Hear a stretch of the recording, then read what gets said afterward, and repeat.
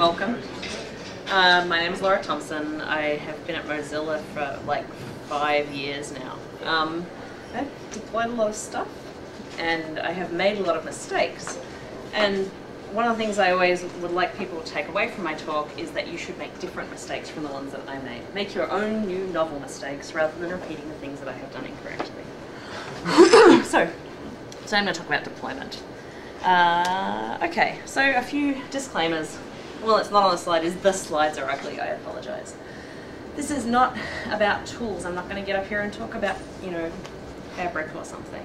Um, it's not prescriptive because I don't really believe in prescriptive advice anymore. Like there is one true way to do deployment and that is the only thing that will work for you. That's garbage, right? There's a toolkit and you've got to find tools that work for you and work them into the way that you do things. Um, part of what the talk is about is kind of recognizing where you are along the deployment spectrum and working out where you want to be and working out how to get there. So hmm. that's kind of the, the goal at the end of the day. I'm going to start with the more academic and work my way through to the more practical. So I'm going to begin by talking about models. Who here has a computer science degree? I'm going to give you horrible flashbacks. so sometime during your computer science degree, or sometime later if you did a project management course or something, someone may have talked to you about the software capability maturity model, which came out of Carnegie Mellon. Was developed, I think, in the 80s. If you do any kind of MBA, they'll talk about this as well. Um, and there are, have been developed since then several different capability maturity models, like there's one for QA, um, but there isn't one for deployment. The idea of a capability maturity model, it says whenever you have a process for doing something, there are different stages of development through that process, right? At the start, you don't really know what you're doing, and then as you get better, there are particular characteristics of stages in this process. So the software development one looks like this, and I think it also apply to deployments. So at the beginning of the day, when you first start deploying things, uh, there's a stage called initial. And in that stage, we expect processes to be chaotic, people to have to do individual heroics and stay up all night. Um, second stage is repeatable, which means that you wrote down something about how to do it, so you can try and do it the same way the next time. Um, third step is define, which is you have kind of a standard process and you're starting to tune it to be a little bit better. Um, a managed process is measured, like the meaning of management is to, to measure stuff. And finally, optimizing, actually, and just as someone who likes to write, I really find the, uh, the verb structure here really distressing. Um, it feels like it should be optimized, but I guess optimizing means that you are continuing to make it better as time goes on. So let me talk about those a little bit more um, in the context of deployment. So this kind of initial phase is the startup phase of many projects. We are starting a new company and we're going to make this product. Um, or I have like a personal web app and some open source project, whatever it is. Um, this is the startup phase, and it can be a really long period of time spent, although it's called initial, right? Like you might you might stay in this phase forever. There are people who work at companies that have been in this phase for 10 years. Um, this means that you push code whenever you feel like it, um, whenever it's done, right? Uh, devs push code, you probably don't have any sysadmins involved. And you probably don't have like a, lot of tests, possibly zero, uh, no automation, everything's done manually, no verification that when you push stuff other than like loading a page and say, yeah, it kind of looks okay. Some people in this phase, although we've gotten better about this, some people don't use any source control. Um, I think the, the great thing of GitHub is it's like source control for the masses. There's no longer any excuse not to use source control on a project. Um, okay, so that's the initial phase. and then you've been doing it for a while. Let's say you start to get a few more users, right? And this starts to be a little bit painful. Um, and you move to what's called a repeatable deployment model. This typically takes place after you've pushed out your like your MVP or your 1.0 version of product, your first non-beta ship, or the first time you have to ship something, say you got mentioned on Hacker News or Reddit or something, and suddenly you actually have a significant number of users, which means you have a significant number of complaints when you screw something up. So what typically happens here is you want to be able to do it in a repeatable way. You'll typically start writing down a process, like these are the, the five steps that we do when we ship? Um, and the thing that's kind of interesting is you start to deploy less often. Right, when you first started, you wrote some code and you pushed it up to production. You wrote some code and you pushed it up to production. At this point, you like wait till a whole feature's done and you maybe spend some time testing it before you push it out. so you actually slow down. It's kind of interesting. Um, then we get into the define process. A lot of people stick here and never get past this particular step in the process. This is where you have some documentation. You start to have some automation. Um, maybe have some tests that have to pass before you're allowed to deploy a build. Um, and particularly with startups, this is often the point where you hire somebody to do this for you, right? Let's, let's that you're not like religiously no ops or something. Um, or one of the developers starts to become more of a sysadmin because it annoys them this is not being done properly, right? Like that's the classic model here. Um, and I would say like there's lots of big companies that do this way. Like lots of people, lots of places I have worked, lots of places I've consulted to, never really get past this point, right? They might have like one or two admins, or they might even have a whole team of admins. They have a little bit of documentation, but they really don't have any like automated tests or continuous integration or anything like that to make this like a, a fancy way of doing things. By the time you get to a managed process, you should have automation. So when I check in code, tests should be getting run. Um, I might have some kind of packaging, some sort of actual like deployment system to push the build out to different machines in the network. And this, the need for doing that tends to happen somewhere between repeatable and managed, because it tends to be the point where you stop having a small countable number of, of servers, right? Like you can deploy code to three servers by hand. When you have 100 servers, you don't want to be deploying code, new code to each one of those by hand. Like you have to automate it, right? It just becomes a, a matter of scale. in a managed process too, you should do some kind of verification after you've released code. And ideally, you can go all Etsy on this and say, how often do we push? How many times a day do we deploy? How long does it take? When we deployed, how many requests per second were we doing before and after? This is where you start having like iPads taped up on the cubicle wall above people's desks, showing you the, um, which is what we actually do with them, um, showing like how things are going, number of commits, what happened to performance. Finally, you should achieve a state of nirvana, you know, on the, the top of the sort of Zen pyramid of uh, developer deployment. It should be easy. Often at the stage you're doing continuous deployment, you have a lot of automation. it's very lightweight, so I can deploy by just sort of like thinking about it. Um, I shouldn't have to invest a lot of time or effort, and it shouldn't be something that scares me. I think one thing that's characteristic of the early state, early stages is that deployments are a little bit scary. You might be going to stay up really late to do it. You know, you're a little bit frightened that it might go badly, all that kind of stuff. By this stage, it should be pretty straightforward most of the time.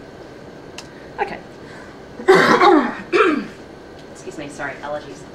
Um, then there's this kind of model that you may have noticed as we were talking about this, is how much do we ship, right?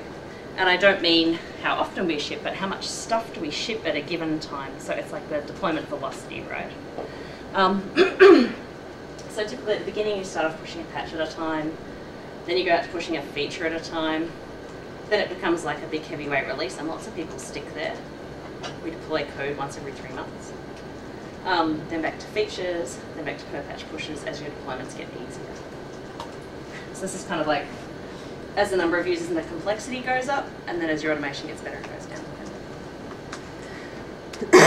so there's a nice diagram of that. Obviously, I am not any form of like a graphic designer's little toenail.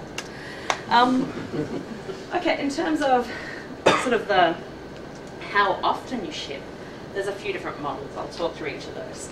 And I call them critical mass, deadline, train model, and CD, continuous deployment. So the critical mass shipping model is we ship when we've got enough stuff. Like this doesn't feel like enough stuff to cut a release, Bob. Um, typically that's sort of like your minimum viable product stuff. And if you don't have any kind of formal schedule around releases like every Wednesday, first of the month, whatever it is, um, then this is often the model that you use. uh, you might have a single hard deadline. Let's say that you have a marketing department that has said, uh, let's say we're building a massively multiplayer online game and it's going to ship on March the 1st because that's what all the advertising materials have said. And we don't care if it's broken, that's when it ships. Um, hard deadlines are hard, and I don't mean that as like a meme joke, but this is actually like the hardest one these things to do. Because, you know, all, this is always like a death march, right? Like you're always horribly stressed, you will hate yourself. I really recommend that if you have any say in like how to choose your shipping velocity, that you don't choose this. um, sometimes unavoidable, right? Like we see that with the stuff that I work on too, because like we know that Firefox is going to ship on a particular day, and we work on all the toolchain parts, right? So you need to have toolchain support for this feature that's going to ship on a day, and there's not a lot we can do about that. The only thing we've really done to make that easier is gotten better at communicating with Firefox teams. They can say to us, this thing is going to ship on November 15th, and they can tell us three months in advance instead of telling us the day before. so, next thing, train model. Um, That's what we do on a couple projects that I work on right now. Ship every Wednesday or, you know, every morning or morning and night. Um, and whatever's ready to go out at that time ships. And anything else goes out in the next ship. And this is kind of like a different way of thinking about deadlines. And going from like a, a deadline model to a train model reduces developer stress like that. I think it takes a little bit of getting used to because people are like, oh, I have to get this done for Wednesday. And you're like, get it done when it's done. Do it right and then we'll ship it. Um, and once we really absorb that, it's so much easier for people. And then they can sort of focus on doing their best work. Okay, and finally, continuous deployment, which is when a change is done, you ship it. I always think continuous is kind of a misnomer, just sort of speaking from a mathematical background. It's actually discrete, right? Because shipping a change set at a time. It's not like code changing constantly. But um, I just wanted to give you that definition there that, you know, once a change is done, and that might mean finished coding, it might mean it passed automation, it might mean it's been manually QA'd by a human being, but when it's done, ship it. Okay, so that's kind of the, the pipeline. Now I'm going to talk about the tools and practices that we need to use to move further along um, that maturity model. So, the first thing is source control.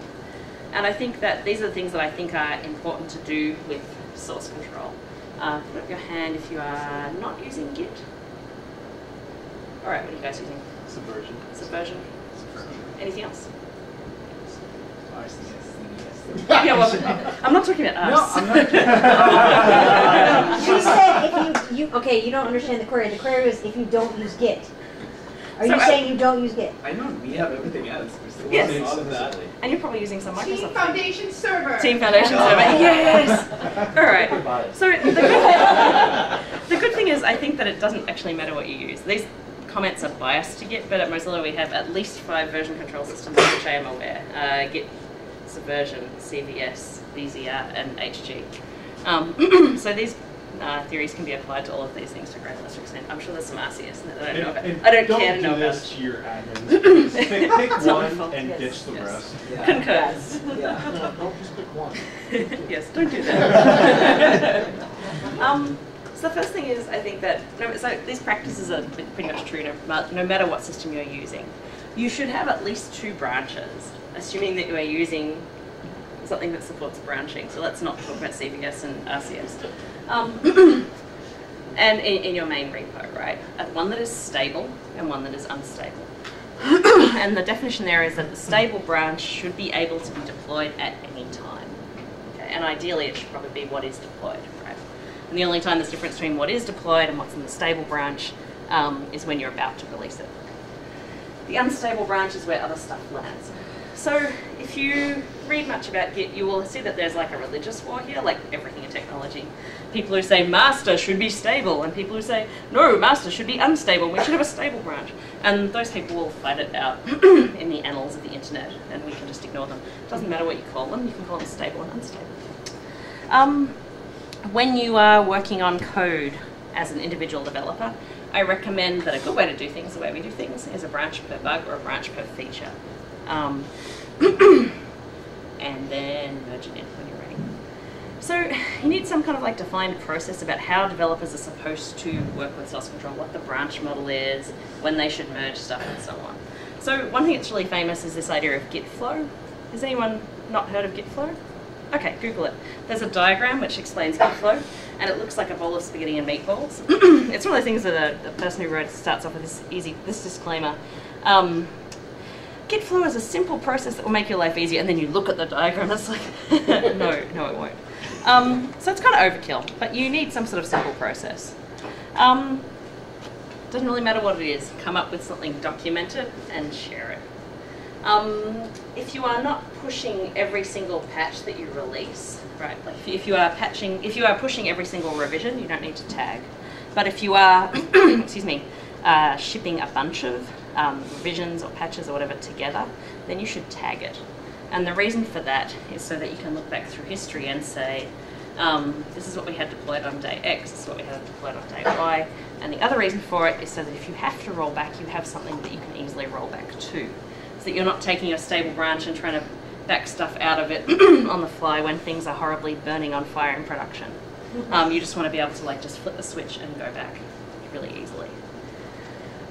A side comment to that, even if you are deploying every revision that you make, if you are sharing your code as an open source project, you need to have a extended support release, an ESR.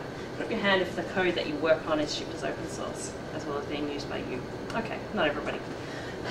but if you are, even if it's just like a library that you use, um, people that are going to use it, and everything we do at Mozilla is open source, right? This applies a lot to us. People will be trying to use our code, and if we're shipping at every revision, then they say like, hey, I can't keep up with you guys. What revision should I be running?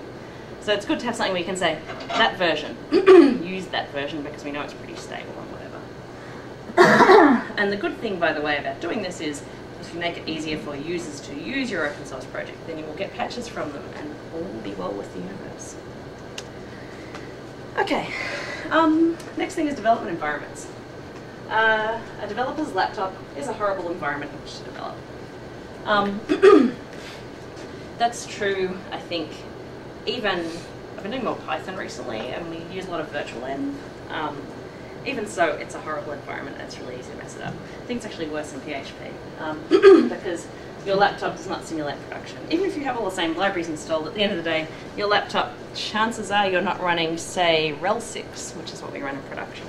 Um, you know, if you might be, you might be lucky and have Ubuntu on your laptop and Ubuntu in production, but a lot of people that's not the case. Um, so one way of dealing this with this is using a VM. Um, excuse me, we have done a lot of work with this and like having using VirtualBox and Vagrant to script a particular VM. Um, it's hard to maintain that though, right? Like it is hard to keep it up to date um, and have something that's easy to share so that when developer starts on a new day, um, it's easier for them. A lot of these things are hard too. The next thing that's really hard is development databases, right? Um, if you have a development database that has personally identifying information, um, then it's really hard to share it with developers, right? Um, or if it's really big, it's really hard to get like a meaningful subset of that. And you might have a development database set up, but then if a developer needs to make destructive changes, you have a different problem, right? so some of the ways we can do this, um, you can set up a fake data database. It's worth your time writing a script to generate data to fill a database that looks like production data but isn't. Um, you can use a miniature database, which is like an excerpt from production, say last 30 days of data or whatever. Um, the other thing you do, which we've done recently, one of my projects is um, come up with a development API sandbox. In that particular project, we don't do direct database access, we do it through a middleware API, like a RESTian API. Um, so we have actually set up like a public version of this with a database server it that has fake data in it. So anybody that wants to hack on the front end can hack on the front end without having to install HBase, um, which is the Hadoop database. It takes some effort to set that up. Um, the other thing you can do is, um, uh, this is sort of more the vagrant thing, but you can also, you know, on your continuous integration server, have it do in a lightweight fashion, set up and tear down VMs to do testing, right? So that if you're doing something like that, it helps you with this. All of these things kind of feed into each other. Finally, I recommend, we have kind of a strange system at Mozilla. When it was first brought in, I couldn't really understand why, and I'm like a huge fan of it, which is that we have three environments. Um, we have dev, stage, and production. But the dev server isn't something that you can log into, right? It's a staging server. Um, it's a staging server that runs unstable code. And stage is a staging server that runs stable code. I talked about those two different branches, stable and unstable. So we have a staging environment for each of those um, and use it for different things. Stop me with questions if you have them, by the way, because doing a lot of stuff. Then we get to the staging environment. Um, put up your hand if you don't have a staging server, staging environment. Yay! Okay, I don't have to take anybody out and kill them. so the most important thing about your staging environment is that it must reflect production. And I don't mean in a half-hearted way. I don't mean running the same version of the code. I don't mean running the same version of the operating system. I mean everything. Everything must be the same as far as close as you can make it. Um, and sometimes you can't do everything, right? So let's say your massive social network, blah, and you have a thousand servers, thousand webheads running a production environment. You probably don't want to have a thousand webheads in staging, right? But same proportions are important. So let's say that in production you have one database and 10 webheads. Well, well, let me say two databases and 10 web webheads. Then in staging maybe you can have one database and five web webheads, right? The reason for that is so that you find out where the bottlenecks are at the same time, right? Like when you when you're testing stuff, not after you've shipped it. so you should think of your staging server as a scale model of production, if you like. You should try and get some realistic traffic and load on it. Um, realistic traffic is harder than realistic load because it's really easy to simulate load, right? Like you can set up AB or anything else, like throw lots of traffic at a web webhead. But to make it realistic traffic, um, you can replay traffic. There's lots of kind of tools for this. Um, you can use your load balancers to like mirror some of your traffic to your staging environment if you're so inclined. Um, but it's really important to try and simulate any problems that you might have in production of your staging server. And because of that, staging should be monitored. It shouldn't be the kind of monitoring that wakes somebody up in the middle of the night. I think it's really important. But if you have, let's say we have staged some code and it has, has a query in it that performs horribly and brings the database to its knees, it will be nice to notice that. Like that it's, you have some problem with your database in staging before you push it to production. Right, yep. Um, we, this is a little bit of a plug, but we just released an open source project called Shadow. Mhm. And so what it does is it takes your production environment, across to another, and then runs the traffic through both, Mhm. and takes the output on the other side and does a diff. Cool. So uh, we use that for our API layer now. So that that's one of the new, new things that's built. It's like three weeks publicly available. That sounds really cool, and I will definitely play with It's that. pretty sweet. It's all Python too. Cool. Um, the other thing is, I'll talk about this a little bit more. Uh, put up your hand if you don't have managed configuration in your production environment. Good. Who's using Puppet? Cool. And who's using Chef? And who's using something else? What do you use? We're using CloudFormation. Yep. Yep. Elizabeth? Sa- Same thing. Anything else? You don't have something different that you use? in Microsoft? Nobody uses CFEngine? yeah. and there's a Microsoft tool for that. That's great. Okay. um, so people are really getting really good about the production. Who uses configuration management in their staging environment? Who doesn't? Okay, good. Sometimes. Sometimes. Stop that. All right. So I'm going to rant about this because this has bitten me like 47 times, possibly more. Like I haven't actually counted. Um, but we've all done this. The staging environment is one box, and it runs, you know, the database and Memcache and the web app and whatever else bits and pieces. You know, Rabbit, Redis, Mongo, whatever it is. You're running it all on one machine, and then you release it and everything breaks because you had some inherent assumptions in your code or configuration that all of this stuff was running on the same machine. Don't do this. VMs are cheap. Cloud machines are cheap. Even if you only have one physical box, have two VMs on it, or as many as you need. Um, I speak from painful experience. okay, I'm going to talk about continuous integration. Hand if you are not using continuous integration. I don't know what that is. You don't know what it is. That's because you're a DBA. no, but it's fair, right? Like, um, so the idea of continuous integration is that we are continuously landing code, and when we do, we run tests on it. So let me tell you a little bit about the environment that we use because I'm really happy with it. Um, we use Git when we commit something to GitHub. We use Jenkins. Jenkins notices that we have committed something to GitHub, and it pulls down the source code, and it creates a build, and it sets up some VMs, and it runs all the tests and says yes. And if it says yes, then it pushes that build to the development server. So it does all of that automatically. Um, the thing, the other thing that does that I have to talk about now, which is really, really clever because we just brought this in, is there a thing called Leeroy, which is a plugin for Jenkins. Um, I know. Um, and what that actually does, it will actually uh, run tests on pull requests on GitHub. So when you put in a pull request, the repo will actually pull down the code and run all the tests and say, tests will pass on this if it is merged or not.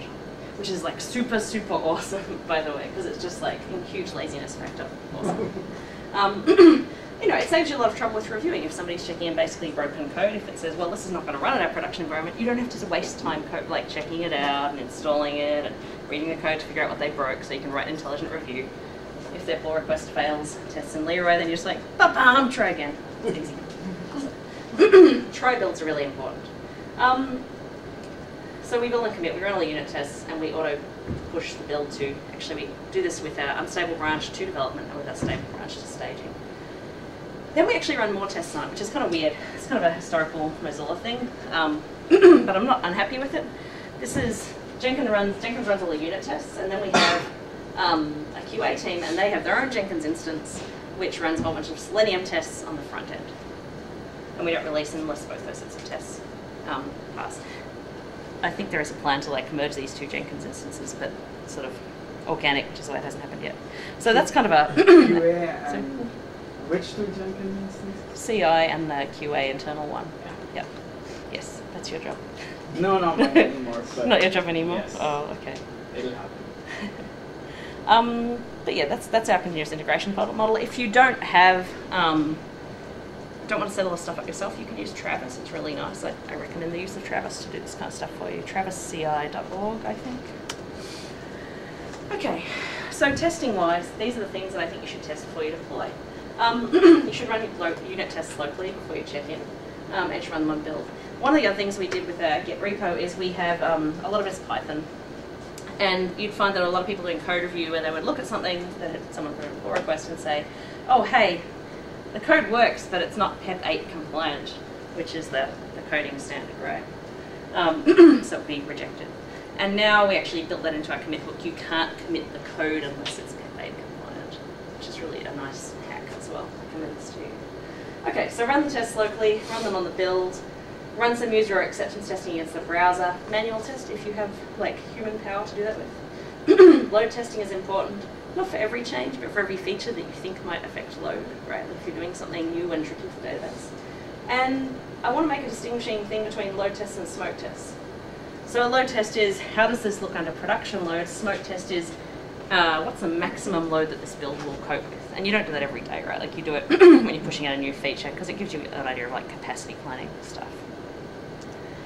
Okay, so when you actually have got this build and it passes all the tests and it's all beautiful and been mostly automated to here, you should deploy it. And it doesn't really matter what you're using to do deployment, but it should really be automated.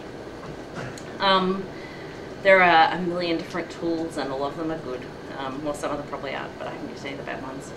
One of the important things is that you should deploy the same way to staging as you do to production.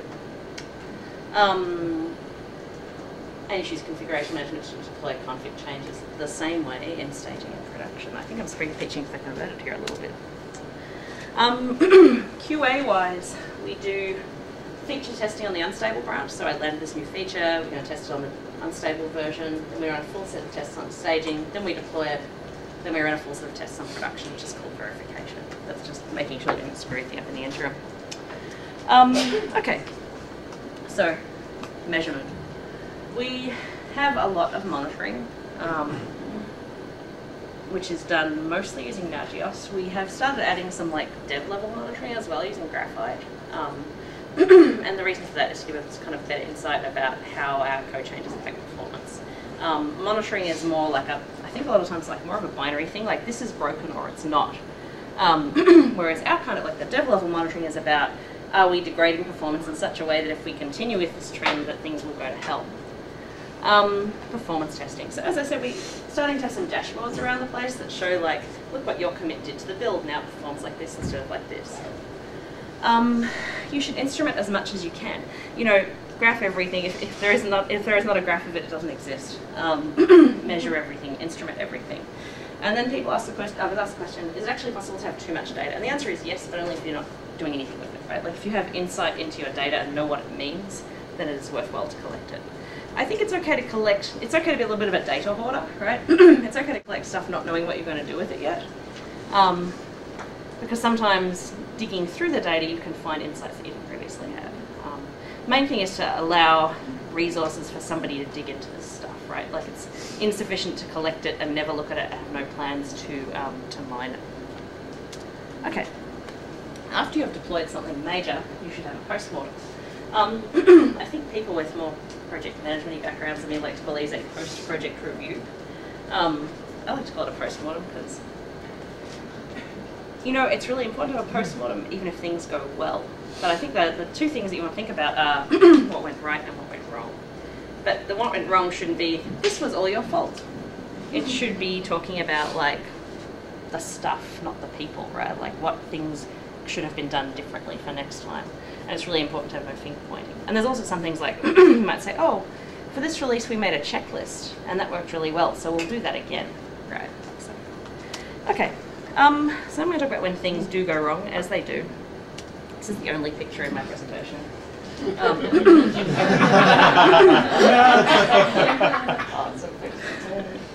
That's that's the definition of DevOps, right? yeah, that's the definition of DevOps. this is me as a five-year-old. Um, Oh, yeah. okay, so I stole this from Erik Kastner, who used to be at Etsy. Now he's at Kickstarter. Um, this is the idea of a quantum of deployment.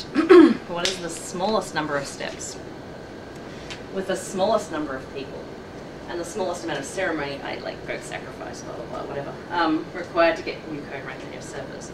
Because when you have a disaster of some kind, chances are you're going to have to do this. So you want to make deployment easy so that when things go wrong and you have to change stuff in a hurry, that you can do it with a minimum of fuss and ceremony. Because when the building is on fire, that is not the time you want to be figuring this stuff out. okay. At Mozilla we call it a chem spill. Um,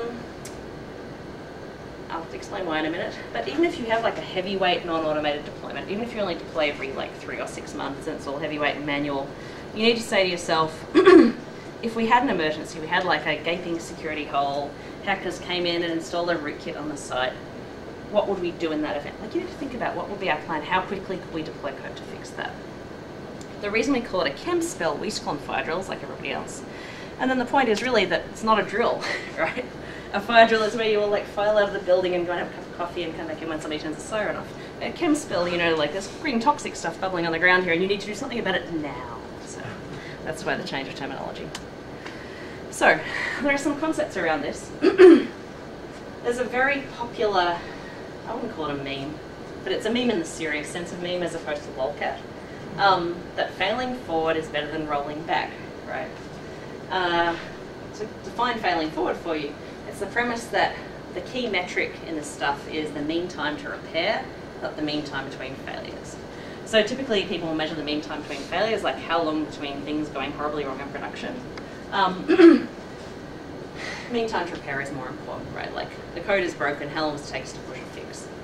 Um, I have had people say to me, I would be deeply ashamed if I ever had to roll back code that I had written. And I think those people just haven't been at it long enough. so failing forward is great. However, sometimes you can't. So you need to have a plan to fail forward, but you also need to think about rolling back. So I'll give you some examples of when you can't fail forward. Examples of that are things like a, an intractable performance problem, right? Um, which, yes, you should have picked up in staging, but people make mistakes. This is the key thing here. Um, you might have some kind of hardware failure. Um, let's say that you put some new machines into production with some new caching solution on them and they all catch on fire on the first day. It's not sort of a joke.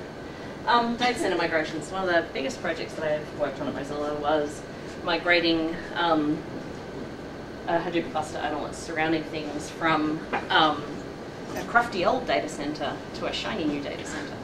And I say that really, like genuinely.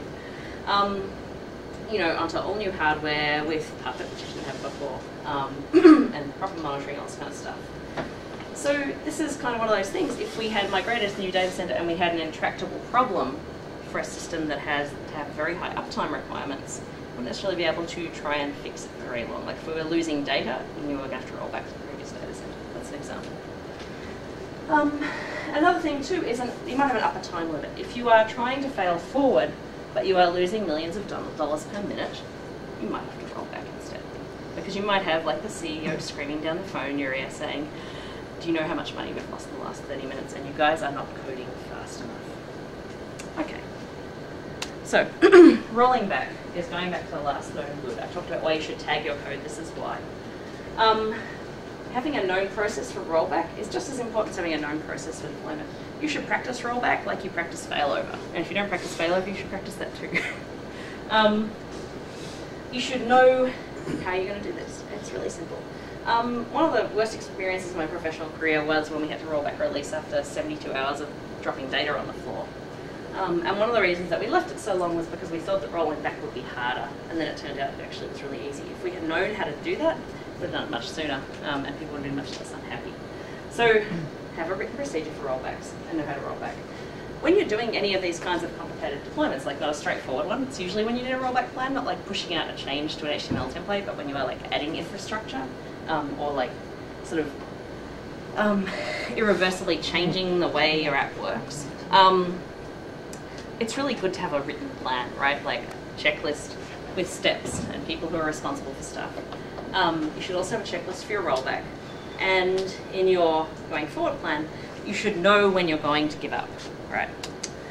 Um, you should define some decision points. so before shipping, things like if we pass this test or performance criteria, then we will ship. Um, if these things go wrong, we'll roll back. When we used to have um, more heavyweight deployments, we had a rule that if we had one major strike or three minor strikes, we would roll back.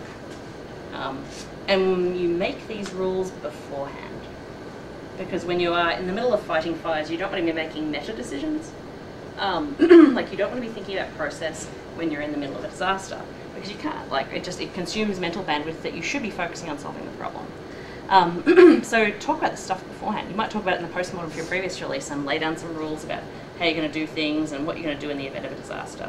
Um, and then you won't be having an argument about it, right? Like you'll be in this disaster and someone will be going, we should roll back. And the other person will go, no, we shouldn't roll back. And then this person can say, but the rules say if we have this kind of failure, then we roll back, and we have this kind of failure, so we're going to roll back. And we can just not kill each other. So, so a better thing than rollbacks um, is to add feature flagging or feature switching to your app? Um, so rather than, and this can't be done for everything, right? Like there are some places, I think particularly if you have like the kind of uh, irreversible destructive database changes, the example where feature switches don't work terribly well. Um, often you have two choices about how to implement something though. You can implement it with feature flagging or feature switching in a more complicated way than you would have done it if you weren't going to use feature flagging or feature switching. So there's overhead involved in building stuff this way. But it's overhead that will make your life easier, right? It's like writing unit tests, makes the code take longer, but it's worth it. Um, adding feature flagging is very similar. So the idea of feature flagging is that you can turn a feature on for a subset of users, right? I might say I'm going to show this to 10% of my users for two days, and then I'm going to look at the metrics and then roll it out to everybody. Um, you can just turn it on for everybody. And the other thing you can do is that if you have feature switching or flagging for everything on your website, then you can turn off non-essential features if you have a surge in load, right? Like to save your database or whatever. Um, think of it as load shedding. It's what the electric company does. If they have like a supply problem, they start switching off the unimportant customers. Um, actually, did that in Manhattan pretty recently. Um, but yeah, so you just want to be able to have control. Control is awesome. This kind of stuff. Okay. I'm going to talk a little bit about continuous deployment.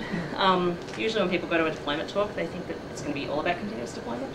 Um, so I will talk about it for the last five minutes or so. So what is continuous deployment? It's a misnomer. It's discrete. Also, in most cases when people are deploying continuously, first of all, it's per change, not continuous. Um, but it's usually automated, not automatic. And by that I mean most continuous deployment systems that I have seen are not commit code, have it run in production automatically, but commit code and then push a button, like a single action to have it deployed to production, right? It the big red button. Um, but usually it requires like a decision by a human being, and I think that's a good thing, right? So I think that's something worth bearing in mind if you are building yourself a continuous deployment setup. Um, and the intention of this is push per change, and typically have a, a red button. Okay, so I want to talk about the, the things that you need to have in place before you can go to continuous deployment, right? We've been thinking about this a lot, and I think there's kind of like a, a set of criteria. There are two slides of this. First one is technical requirements, and the other one is like social and process requirements. So, in order to go to continuous deployment, obviously you need to have continuous integration, right? If people aren't like landing code and having it tested all the time, there's no way that you can actually deploy continuously. You need to have good test coverage. Um, so I haven't said 100% test coverage because I'm kind of a cynic about that. Um, you can test every single line of code, it's awesome. But honestly, like 90% code coverage is probably okay most of the time. I think it is better to have 90% unit test coverage and some user acceptance tests and some load tests and some integration tests than 100% unit coverage and a huge sense of false confidence, right? Because unit tests don't cover everything. Um, and people get this feeling like, I have 100% unit test coverage. My code is 100% perfect. You are wrong. It could be really slow. Is like the classic example, right? Um, so you need to know. I think the mo- most important thing is not so much having good tests, but knowing what the limitations of your tests are, right? Like having a really good feel for what the holes are, because when you know the holes, then you know the risks. Um, you need to have a staging environment that reflects production. You need to have managed configuration, and you need to have some kind of scripted single button deployment to all of the machines in your infrastructure. The social aspects is that you really need to have a high level of trust, right? Um, this is not something you can get overnight. Um, this is kind of doesn't really matter what your developer versus ops setup is, right? But everybody that's working on this need to get along. Um, you cannot do this in a weekend by all going like team building in the Rockies or something. Um, it takes time. And the main thing with trust is like having people be honest, say like, no, I can't do that now because X. Um, you know, being able to say no. Um, and just sometimes just a little bit of time. A certain degree of like openness to the culture. A lot has been written about that. But I recommend not embarking on continuous deployment with people that you don't like um, because it's not going to work for you. Um, you need to have a realistic assessment of the level of risk involved with your process. Like you might say, okay, there's a pretty high risk that we're going to break stuff, but we're a startup, we have 200 users, and we don't care, really care if we break stuff, we can just fail forward. But you might say, we're a bank, we have a requirement for five nines, um, maybe continuous deployment is not for us. Uh, you need to have excellent code review. This is a lot of the time about looking for performance problems and security problems and stuff like that. You need to be really good at source code management, so you can fix stuff if you break it. And you should have lots of tracking and trending and monitoring. Another thing you hear about a lot in the context of continuous deployment is that testing is monitoring, right? It's kind of an interesting idea, so let me talk about this. You should absolutely run your tests against production. The question is though, if you, is there any reason that you shouldn't run your tests continuously? If they don't break anything, if they don't cause excessive load, then you probably should. Um, it's a kind of monitoring. There are, again, sort of people who are really religious about this and saying, I run my test suite against production so I don't need any other kind of monitoring. That's absolutely untrue. Um, because your test suite and your monitoring measure different things, or they should, right? Like your testing will tell you when something is already broken, um, or broken in a particular way. It will tell you about things like business logic being broken. Um, like nobody can buy stuff on the site would be a thing that you would get from your monitoring. Um, disk is filling up on the database survey, something you'd get from Nagios. Right, so you- you're looking at different things. Um, and it's okay to have overlap between those two things. If you have, you know, multiple data points about a problem, it lets you triangulate and figure out what the root cause is more easily. So, two final messages that I want to leave you with from this talk. You might say continuous deployment is not for me. I do not have the risk tolerance for it. You know, we're, do, we're doing high, we're working in a high trading environment or a hospital, and I don't want to deploy code continuously in case I kill someone or bankrupt a bank. Um, but I think that it is worth these things that I talked about, like the checklist items, the technical stuff, and the social stuff. It's worth building out those things, even if you don't want to do continuous deployment. Because automation and a good tool chain, a defined process, and high levels of trust, all of these things will make your working life a lot easier. So, the message is build the capability for continuous deployment, even if you don't ever intend to deploy continuously. And the second thing, which is um, one of the arguments for going to like a high velocity deployment environment or continuous deployment, is that really, like with anything else, right? Mm-hmm. The only really good way, the only way to get really good at this is to do it a lot. If you only deploy once every six months, it's always going to be hard because it's going to be unfamiliar to you. If you do it once a day, multiple times a day, once a week, it becomes like a, a routine and something that you can do almost without thinking about it. You absorb it into your subconscious, and then you can just focus on the parts that are hard as opposed to the parts that are routine, using up a lot of your mental bandwidth. Ah. so that's it. Questions? If you yes, So I have to I'm say, now. in the last last two years, at least Yeah. thinking of Socorro, your Yeah. your deployment process has improved immensely. Oh, out of Like- sight, yes. Like in the Uh-huh. last two years from now and, and today, it's Yeah. just night and day. And and uh, from my perspective, that's a lot to do with everything that you covered Yeah. in your presentation. What was what, in your opinion, what would be like the most influential? The one most that- important that- thing? Yeah. Um, part of that? Predictability, which actually covers a lot of things. Um, but it covers like automation and practice. I think are the two main things that it covers. Like knowing what's going to happen because you've tested it um, and done it a lot. I think we used to. I mean, you know, there were times when on this project and on previous projects I worked on too, like when I worked on Sumo. Um, you know, when we had a deployment, we'd order in dinner and we'd sit down there at seven o'clock to a deployment. We'd be expecting to be there till two in the morning, right? Um, and now it's like we deploy in the middle of a meeting a lot of the time. Like, oh, can we deploy now? Yeah, okay, let's deploy. That's it. Um, like, it's just no fuss. Um, we only do it once a week, but it's like, a, yeah, let's do that. And then we update a wiki. But we're going to automate that. we have a London is building a release tool to automate like a, um, a wiki, so we know what versions are like on what servers and stuff. So it's the last piece, I think. Other questions?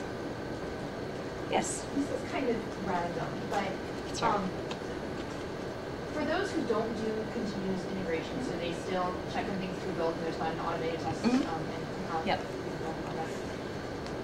Do you think it is a good practice or no to have some kind of, I think at every single dev team I've ever worked on, there's been some negative consequence for breaking the build. If you're Yes. the person breaks Mhm. the build, you have a skeleton one on your door or something like that. The dunce hat. Right, right. Mhm. Good practice or bad practice? Oh yeah, I love it.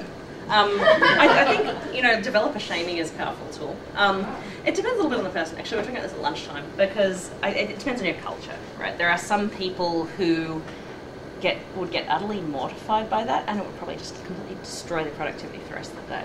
Um, so I think as long as it's jovial, it's okay.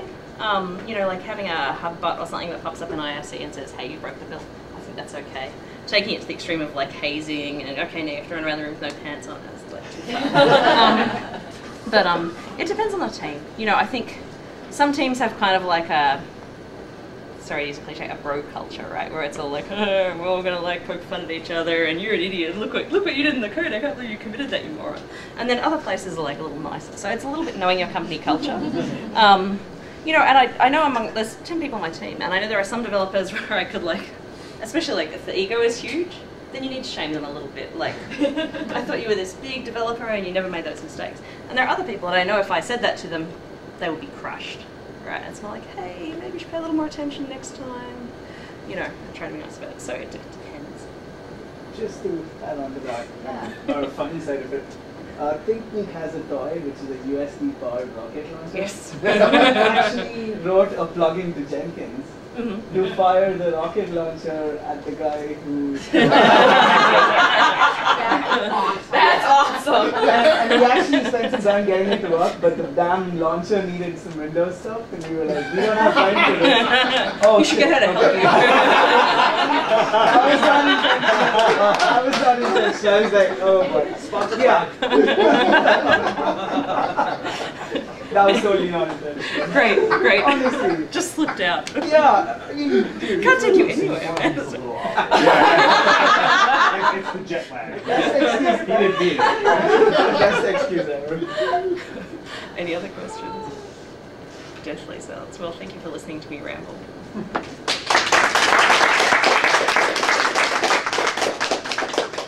still find it amazing. I put one of the quotes up, and Brandon's like, "You're in a, one of Laura's talks, aren't you?" I'm nothing if not repetitive.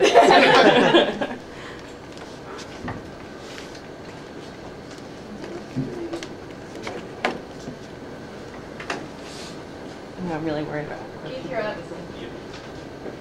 Unless he's upgrading his laptop. that happened one time, Dan. Of course, that one time was like a month ago, so shut up.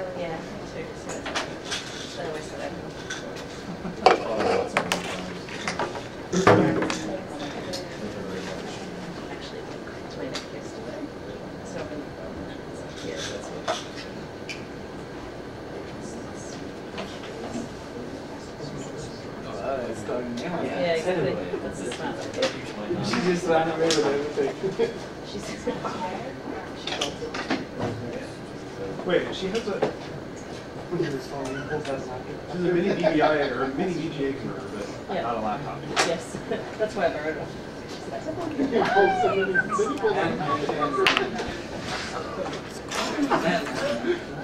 Super weird. Whatever.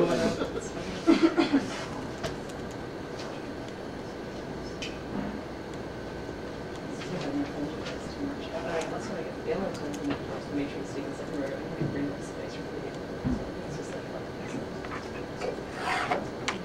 you won't offend us. Uh, Now, we won't invite you to our green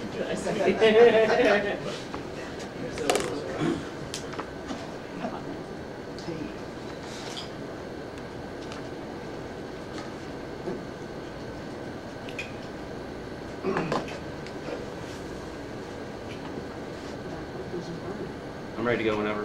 Oh, rock on. All Yeah. right. That's good. Yeah, I do this professionally. So, uh, hi everybody. I'm Keith Casey. I'm here to talk about uh, project triage and recovery. Um, it was funny. Last night I had dinner with my uncle, and he's like, "So, what are you in town for?" And I said, "Oh, I'm, I'm speaking at a tech conference." He's like, "Can you give me like a overview?" But I, and he's not tech, so he's like, "I'm not really going to understand what you're talking about." I'm like, "Well, actually, you're an EMT, so you know exactly what we're talking about." Does everyone know what an EMT is? They're the guys who get out of the ambulance and help people out. And their whole job is about triaging. It's about looking at the situation, seeing what's going on, seeing are you know are there open sucking wounds? Is this guy bleeding out? Is there head trauma? You know what's going on, and figuring out what can we actually address here, what actually requires uh, transportation to a hospital. Um, you know what requires just stabilization. You know we can't fix it, but we can at least prevent it from getting worse. Um, so when I actually said yes, you'll get it, and I explained this to him, he goes, "Oh yeah, I could do that." okay, maybe not, but um, it was it was really kind of funny to sort of like have that connection with a family member because I still get the thing of, "Hey, can you set my DVD player?" Um, so anyway, I'm Keith Casey. Um, I have a variety of number of jobs. It's mostly to keep me out of the house because uh, my wife gets tired of me pretty quickly. Uh, but my primary job is actually I'm a developer evangelist for Twilio. Is everyone familiar with Twilio? Who's not familiar with Twilio? Cal Evans. Screw you. These three. Okay. Uh, Twilio, real simply, is a platform for plugging applications into the telephone network. So if you want to send text messages, uh, make phone calls, or receive and react to phone calls and text messages, use us. We integrate with just about everything out there. Any CRM sort of thing, IVR. Um, we run on like all the major platforms. We're a Microsoft partner for Azure. We we're all over the place. Um, but my whole job as a developer evangelist is I get to roam around the countryside. I give presentations. I do a lot of demos. I do a lot of stuff that looks a little bit like sales engineering. I hang out with customers, see what they're doing, see what problems they're having. Um, it's a blast. I love my job. So, but uh, that's not what this presentation is about. So this presentation is about um, web2project. Is anyone familiar with web2project? Okay, everyone who I've talked, uh, everyone who's seen versions of this presentation before. Awesome. Um, web2project is a web-based project management system. Um, as of this week, is today the 8th or the 9th? the 8th. So as of tomorrow, it'll be five years old. Um, we forked from another project called dotProject, and it sort of reached a point where there was a lot of sort of inertia around the project. And we reached the point where we said, hey, look, um, in order to make progress, we need to stop and figure out what we're doing. There's nothing's happening here. So there were seven of us on the team, I think, at that point, and the team lead said, I have an idea. We're going to restart from scratch. Yeah. So in November 2007, that team went that way and restarted from scratch, and they said it would take nine months to get to version 1.0 release. we all know how rewrites go. They're, they're, they're still working on it. Uh, but in the meantime, what we took a different approach. We said, look, uh, we've got thousands and thousands of users on the system. If we rewrite from scratch, we're losing all these lessons learned. That said, the code base is a piece of shit. How do we make this better? How do we actually sort of take where we are now and turn it into something useful? So our approach was instead of restarting from uh, from scratch, we're going to go through and refactor the whole thing. And we are, like I said, five years in, and there's still more work to do. Um, but what's funny is, just as a little sidebar about myself, this is what I do, and this is what a lot of people know me as. What's funny is more and more I'm getting known for something else. I have a contentious relationship with the TSA. Um, yeah, you, I'm probably on lists. Let me just leave it at that. Um, this is being recorded, right? Yeah. Okay, so if you want to talk about that, we'll do it off camera later. I don't want to have any evidence. That just seems like a bad thing. Um, but I have I'm happy to chat about this one over drinks or whatever tonight. And I've got some stories. All right, so uh, at a higher level, not just within web2project, the reason I'm talking about this is because the vast majority of projects fail. Now, fail is kind of one of those squishy words. Like when we think of fail, we think of test failing. It's green or it's red. You know, it's a very binary thing. It's it's pass or fail. There's no sort of middle ground. When you talk about fail in this sense of the word, though, their definition of fail, and this was from a Gartner study a few years ago, Um, their definition of fail was anything that was, um, let's see, more than 5% over budget, more than I forget how many weeks it was late, or didn't live up to expectations of the customers. Has anyone built any project that was on time, on budget, and satisfied all the customers? Cal. When I Yeah. build stuff for myself. Yeah, then I'm totally satisfied. Okay, okay, yeah. So, has anyone built something for somebody else that fits all three of those? I mean, the vast majority of the time, the answer is no. So, their 95% thing seems pretty reasonable. Um, and while that sounds, while that's bad, fundamentally, it's not always damaging to the teams. Because, you know, if you miss a deadline by a couple days, it might not be a big thing. Unless you're launching the game on March 1st and you have to hit that deadline. You know, there's not always a bad thing. But more than, more likely than not, it's going to damage the team in some way. Whether it's a death march to get there, whether um, you end up adding new people to the team at the last minute, you know, all those sorts of things that go along with a project that's late or over budget or just not satisfying the customers, it damages the team. Um, but we were talking earlier about you know those sorts of things in a an environment where you know there's actually money on the table. You know, there, there's actual customers. People are paying money to use the software to build on it or whatever. Um, it's open source. It's it's kind of worse in that regard because at the end of the day, if somebody makes a commitment to an open source project, I'm going to do this. If they don't do that, I mean, what happens? There's no consequences, which I think is mostly a good thing. But at the same time, projects don't spectacularly fail most of the time. They just sort of die out in a whimper. You know, they people just go their separate directions and everything like that. So everything I talk about here um, is based on our open source project. Not everything will be applicable to every team. So I'm just throwing that out there, just right off the bat. When I first gave this presentation, they're like, "Oh, you're talking about open source software. I run a commercial software company." I'm like, "Yes, but you have teams, right? All the same stuff applies, or most of it. Enough." All right. So a little bit of background just on uh, dotProject itself. This was um, five years ago today, before Web Project existed. This was the project we forked from dotProject. Um, had a lot of problems. Um, small budget was a is an understatement. It had no budget. We were selling um, T-shirts and ad space to basically cover our hosting costs. That was about it. Um, circa 2007, dotProject had about seven contributors, 200,000 lines of code. Some of it dated back literally 10 years. It was from PHP 3, 4 time frames. Um, in fact, I was just doing some more cleanup on a couple things, and I found if uh, PHP version greater than 3, great. Um, yeah, I just deleted that. I was like, you know, it's probably not all that important anymore. Um, and at that point in 2007, version 3.0 of, dotProject had been underway for about two and a half, three years, and it just wasn't getting sort of the traction to sort of close that gap. Uh, so there was there were some good things. The project worked. It had a pretty big community, um, eight, nine thousand um, active users, that sort of thing. Uh, but it had some pretty fundamental problems to it. So, like I said earlier, the uh, the initial idea was to scratch it all. You know, just start from scratch, trying to do everything from the ground up. And fundamentally, when we talk about those as software developers, it sounds kind of appealing, right? You're like, oh wow, I get to start with fresh and new, and I learned all these things since I did it last time, so it'll be that much better. Uh, there's actually a phrase called that called, um, that covers that called second system syndrome. Is anyone familiar with that? It's when you build the first version of something and you realize how much it sucks. And all software sucks, let me just throw that out. But then you go to build the second version, you're like, I learned everything last time, now I'm gonna make it perfect. And it isn't. But let's just say it, it still sucks, it just sucks in new and creative ways. Uh, because, you know, fundamentally you think everyone else's code is junk. You think you might even think your code from you know three months ago or six months ago or twelve months ago is junk too, and the new code is always better. No, it's not. Let's, let's just get that right out. No, it's not. It's not necessarily because there might be a reason why that code was structured the way it was before. Um, the other big reason why re rewriting from the ground up always seems appealing is we get to use the new shiny. Um, I actually had somebody pitch me, "Hey, we should rebuild rebuild web2project in Node." like, yeah, let me know how that goes.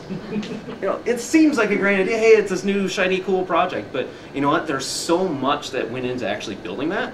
To just port it over is never a clean, fun, entertaining experience.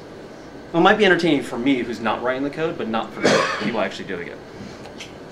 Um, so the problem this runs into fundamentally is that uh, like stuff not knowing what you're going to do with it yet. Um, because sometimes digging through the data you can find insights that you didn't previously have. Um, main thing is to allow resources for somebody to dig into this stuff, right? Like it's insufficient to collect it and never look at it and have no plans to, um, to mine it. Okay. After you have deployed something major, you should have a post-mortem. Um, I think people with more project management backgrounds than me like to believe a post-project review. Um, I like to call it a post-mortem because, you know, it's really important to have a post-mortem even if things go well. But I think the, the two things that you want to think about are what went right and what. But the what went wrong shouldn't be, this was all your fault. It should be talking about like the stuff, not the people, right? Like what things should have been done differently for next time. And it's really important to have no finger pointing. And there's also some things like you might say, oh, for this release we made a checklist and that worked really well, so we'll do that again. Right. So, okay. Um, so I'm going to talk about when things do go wrong, as they do. This is the only picture in my presentation. Um,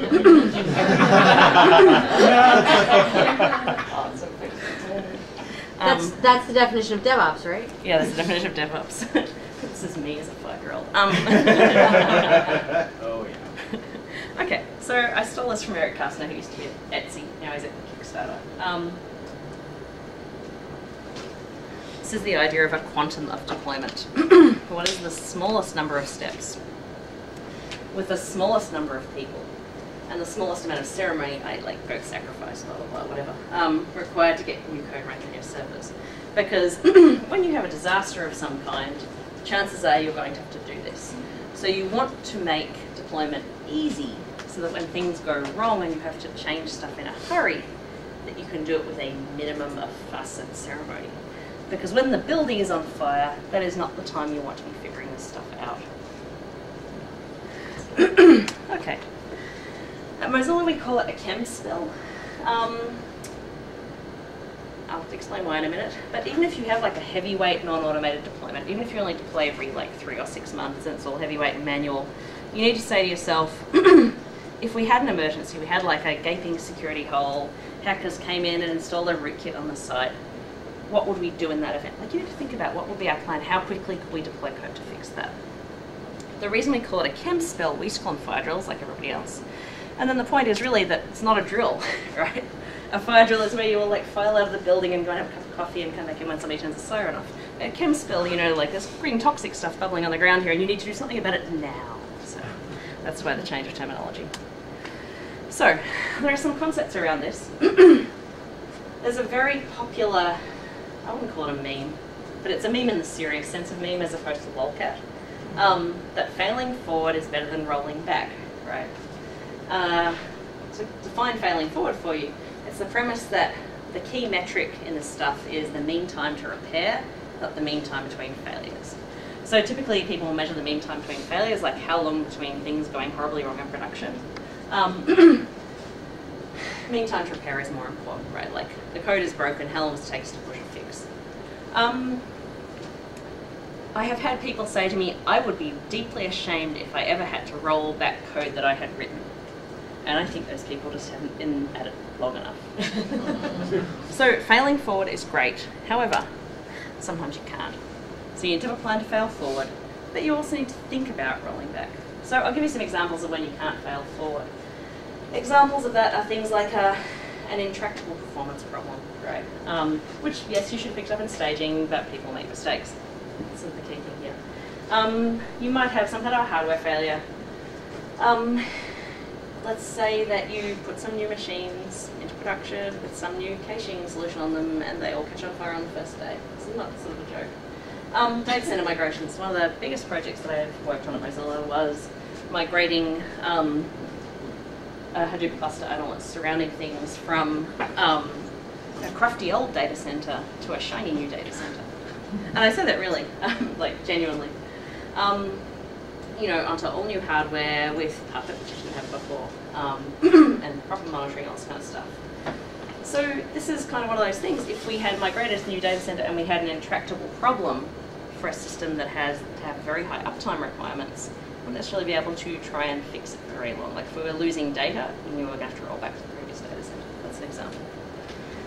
Um, another thing too is an, you might have an upper time limit. If you are trying to fail forward but you are losing millions of dollars per minute, you might have to roll back instead.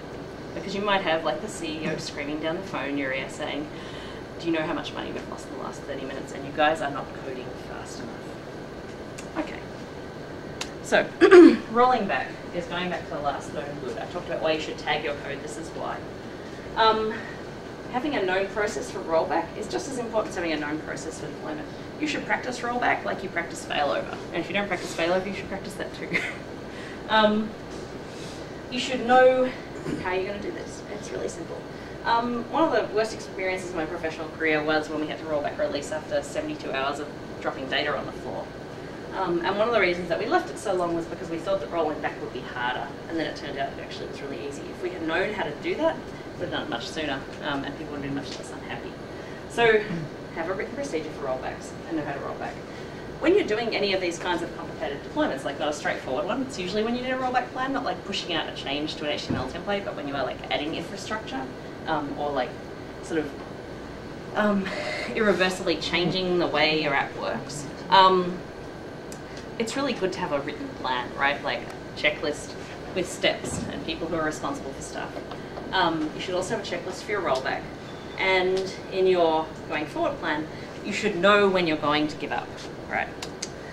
Um, you should define some decision points. so before shipping, things like if we pass this test or performance criteria, then we will ship. Um, if these things go wrong, we'll roll back.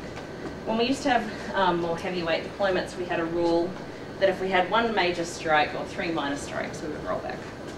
Um, and you make these rules beforehand. Because when you are in the middle of fighting fires, you don't want to be making meta decisions. Um, like you don't want to be thinking about process when you're in the middle of a disaster because you can't. Like it just it consumes mental bandwidth that you should be focusing on solving the problem. Um, so talk about the stuff beforehand. You might talk about it in the postmortem of your previous release and lay down some rules about how you're going to do things and what you're going to do in the event of a disaster. Um, and then you won't be having an argument about it, right? Like you'll be in this disaster and someone will be going, we should roll back. And the other person will go, no, we shouldn't roll back. And then this person can say, but the rules say if we have this kind of failure, then we roll back, and we have this kind of failure, so we're going to roll back. And we can just not kill each other. So, so a better thing than rollbacks um, is to add feature flagging or feature switching to your app, right? Um, so rather than, and this can't be done for everything, right? Like there are some places, I think particularly if you have like the kind of uh, irreversible destructive database changes, the example where feature switches don't work terribly well. Um, often you have two choices about how to implement something though. You can implement it with feature flagging or feature switching in a more complicated way than you would have done it if you weren't going to use feature flagging or feature switching. So there's overhead involved in building stuff this way. But it's overhead that will make your life easier, right? It's like writing unit tests, makes the code take longer, but it's worth it. Um, adding feature flagging is very similar. So the idea of feature flagging is that you can turn a feature on for a subset of users, right? I might say I'm going to show this to 10% of my users for two days, and then I'm going to look at the metrics and then roll it out to everybody. Um, you can just turn it on for everybody. And the other thing you can do is that if you have feature switching or flagging for everything on your website, then you can turn off non-essential features if you have a surge in load, right? Like to save your database or whatever. Um, think of it as load shedding. It's what the electric company does. If they have like a supply problem, they start switching off the unimportant customers. Um, actually, did that in Manhattan pretty recently. Um, but yeah, so you just want to be able to have control. Control is awesome. This kind of stuff. Okay. I'm going to talk a little bit about continuous deployment. Um, usually when people go to a deployment talk, they think that it's going to be all about continuous deployment. Um, so I will talk about it for the last five minutes or so. So what is continuous deployment? It's a misnomer. It's discrete. Also, in most cases when people are deploying continuously, first of all, it's per change, not continuous. Um, but it's usually automated, not automatic. And by that I mean most continuous deployment systems that I have seen are not commit code, have it run in production automatically, but commit code and then push a button, like a single action to have it deployed to production, right? It the big red button. Um, but usually it requires like a decision by a human being, and I think that's a good thing, So I think that's something worth bearing in mind if you are building yourself a continuous deployment setup. Um, and the intention of this is push per change, and typically have a, a red button. Okay, so So I want to talk about the, the things that you need to have in place before you can go to continuous deployment, right? We've been thinking about this a lot, and I think there's kind of like a, a set of criteria. There are two slides of this. First one is technical requirements, and the other one is like social and process requirements. So, in order to go to continuous deployment, obviously you need to have continuous integration, right? If people aren't like landing code and having it tested all the time, there's no way that you can actually deploy continuously. You need to have good test coverage. Um, so I haven't said 100% test coverage because I'm kind of a cynic about that. Um, you can test every single line of code, it's awesome. But honestly, like 90% code coverage is probably okay most of the time. I think it is better to have 90% unit test coverage and some user acceptance tests and some load tests and some integration tests than 100% unit coverage and a huge sense of false confidence, right? Because unit tests don't cover everything. Um, and people get this feeling like, I have 100% unit test coverage, my code is 100% perfect. You are wrong. It could be really slow, is like the classic example, right? Um, so you need to know, I think the mo most important thing is not so much having good tests, but knowing what the limitations of your tests are, right? Like having a really good feel for what the holes are, because when you know the holes, then you know the risks. Um, you need to have a staging environment that reflects production.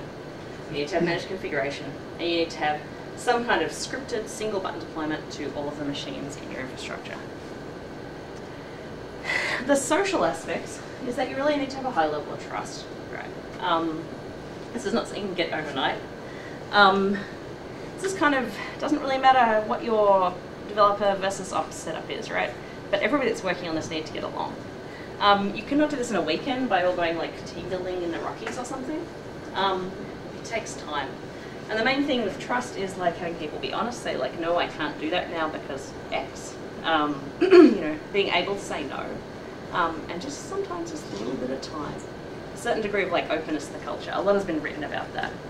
But I recommend not embarking on continuous deployment with people that you don't like um, because it's not going to work for you.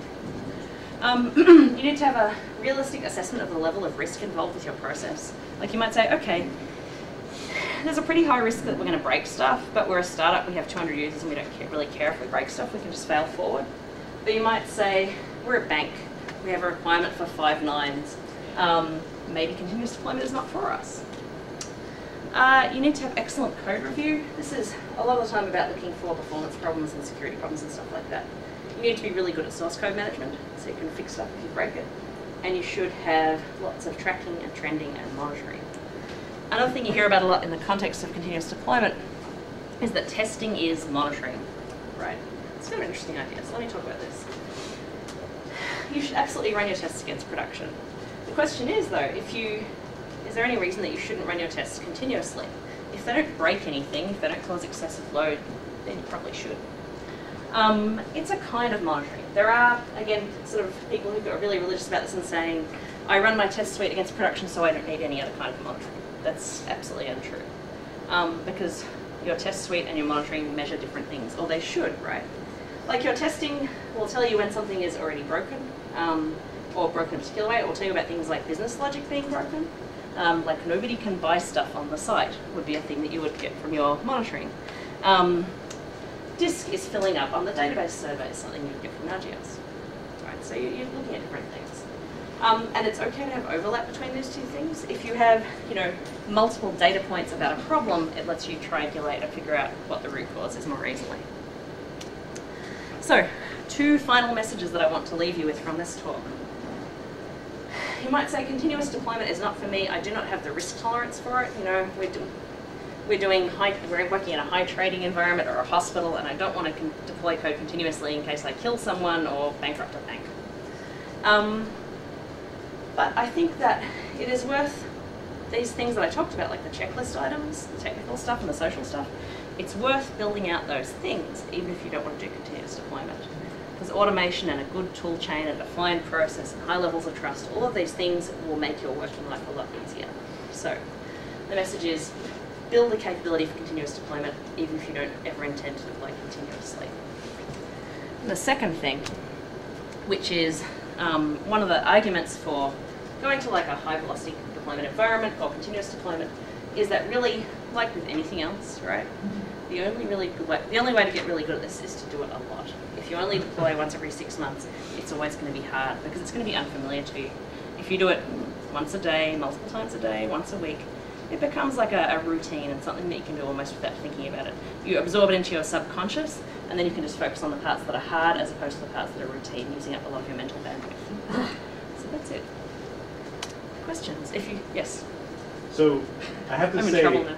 in the last, the last two years, at least Yeah. thinking of Socorro, your, Yeah. your deployment process has improved immensely. Oh, out of Like- sight, yes. Like in the Uh-huh. last two years from now and, and today, it's Yeah. just night and day. And, and uh, from my perspective, that's a lot to do with everything that you covered Yeah. in your presentation. What was, what, in your opinion, what would be like the most influential The one most that- important that- thing? Yeah. Um, part of that predictability, which actually covers a lot of things. Um, but it covers like automation and practice, I think are the two main things that it covers. Like knowing what's going to happen because you've tested it um, and done it a lot. We used to, I mean, you know, there were times when on this project and on previous projects I worked on too, like when I worked on Sumo, um, you know, when we had deployment, we'd order in dinner and we'd sit down there at 7 o'clock to a deployment. We'd be expecting to be there till 2 in the morning, right? Um, and now it's like we deploy in the middle of a meeting a lot of the time. Like, oh, can we deploy now? Yeah, okay, let's deploy. That's it. Um, like, it's just no fuss. Um, we only do it once a week, but it's like, a, yeah, let's do that. And then we update a wiki. But we're going to automate that. we have a, London is building a release tool to automate like a, um, a wiki so we know what versions are like on what servers and stuff. So it's the last piece, I think. Other questions? Yes. This is kind of random, but um, for those who don't do continuous integration, so they still check when things through build and there's not an automated test Mhm. um, and Yep. Do you think it is a good practice or no to have some kind of, I think at every single dev team I've ever worked on, there's been some negative consequence for breaking the build. If you're Yes. the person who breaks Mhm. the build, you have a skeleton one on your door or something like that. The dunce hat. Right, right. Good practice or bad practice? Oh yeah, I love it. Um, I, I think you know developer shaming is a powerful tool. Um, it depends a little bit on the person. Actually, we're talking about this at lunchtime because I, it depends on your culture, right? There are some people who get would get utterly mortified by that, and it would probably just completely destroy their productivity for the rest of the day. Um, so I think as long as it's jovial, it's okay. Um, you know, like having a Hubot or something that pops up in IRC and says, "Hey, you broke the bill." I think that's okay.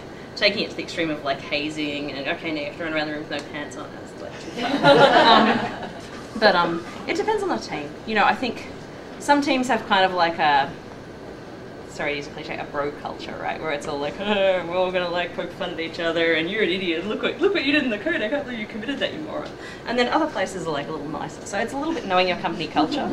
Um, you know, and I, I know among there's ten people on my team, and I know there are some developers where I could like, especially like if the ego is huge, then you need to shame them a little bit. Like, I thought you were this big developer and you never made those mistakes. And there are other people that I know if I said that to them, they would be crushed. Right? And it's more like, hey, maybe you should pay a little more attention next time. You know, I try to be nice about it. So it depends. Just to add on to that, Yeah. or a funny side of it, uh, ThinkGeek has a toy which is a USB powered rocket launcher. Yes. Someone actually wrote a plugin to Jenkins hmm to fire the rocket launcher at the guy who. That's awesome. and, and we actually spent some time getting it to work, but the damn launcher needed some Windows stuff, and we were like, we don't have time for this. Oh, you should shit, get her to help okay. you. I was not intentional. I was not intentional. I was like, oh boy. Yeah. That was totally not intentional. great, great. Honestly. Just slipped out. Yeah, I mean, dude, Can't take you anywhere, man. It's, it's the jet lag. Best excuse He didn't mean it. Best excuse ever. Any other questions? Deathly silence. Well, thank you for listening to me ramble.